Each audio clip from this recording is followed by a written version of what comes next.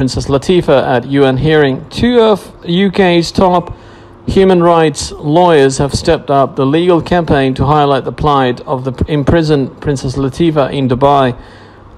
Alan Jones, QC, and Rodney Dixon, QC, provided crucial new evidence on her behalf to the United Nations in Geneva this week. The legal eagles representing the princess have made a special appeal to the United Nations to take urgent action to protect her and get her released without delay. Sheikh Latifa bin Mohammed Al Maktoum is a 33 year old daughter of the Dubai's billionaire ruler Sheikh Mohammed bin Rashid Al Maktoum. The Emirati princess has not been seen.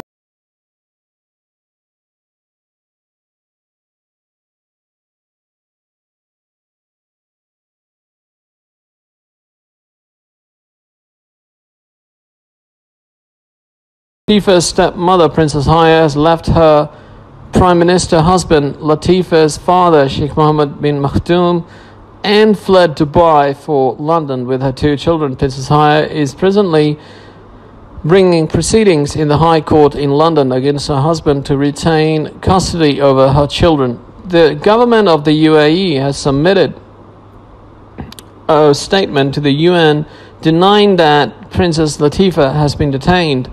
The UAE's response claimed that Latifa is alive, safe, and with her family in Dubai. Princess Latifa's lawyers have highlighted to the UN that the UAE's response is unfounded. Rodney Dixon, QC, said, In light of the available evidence, the claims of the UAE authorities are completely unsubstantiated.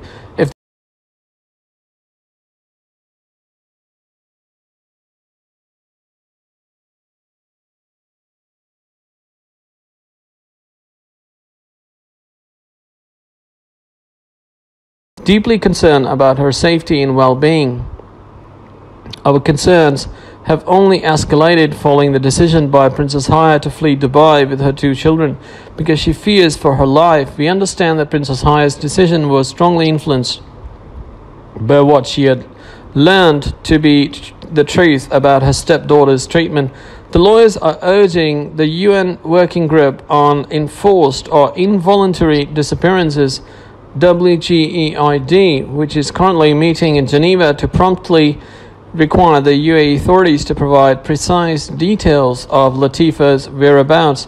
They are also asking to, for concrete and genuine guarantees for her safety and welfare, immediate access to her, and her immediate release by the UAE. Lawyers are also asking that the case be independently investigated by the UAE authorities and the UN so that those responsible for the human right violations can be held to account.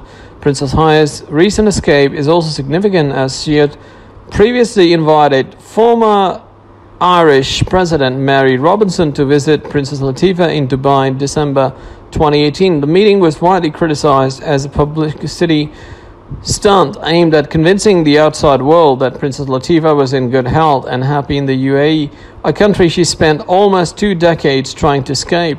Now that Princess Haya has herself fled the UAE, it further confirms that this visit was a sham designed to hide the truth about Princess Latifa's situation. David Haigh, a human rights lawyer who runs the Free Latifa campaign with Tiina Jauhiainen, and Latifa's cousin Marcus Essabri said this is a very significant moment for Latifa. The UAE has some most difficult questions to answer and cannot simply ignore such an esteemed organization as the UN. The UN are evidently not convinced by Dubai's use of smoke, mirrors, and public stunts to cover up a brutal, violent kidnap of a young woman. Her friends and crew, it's now some 18 months since we first complained to the UN and and we hope for a positive outcome very soon. Tiina Jauhiainen, the Finnish best friend of Princess Latifa, was kidnapped alongside her 18 months ago, said after attending the UN today with David and Rodney and meeting for the second time this year with the WGEID. We really believe and hope this could be a vital step to finally winning the freedom of Latifa. The world will be watching closely.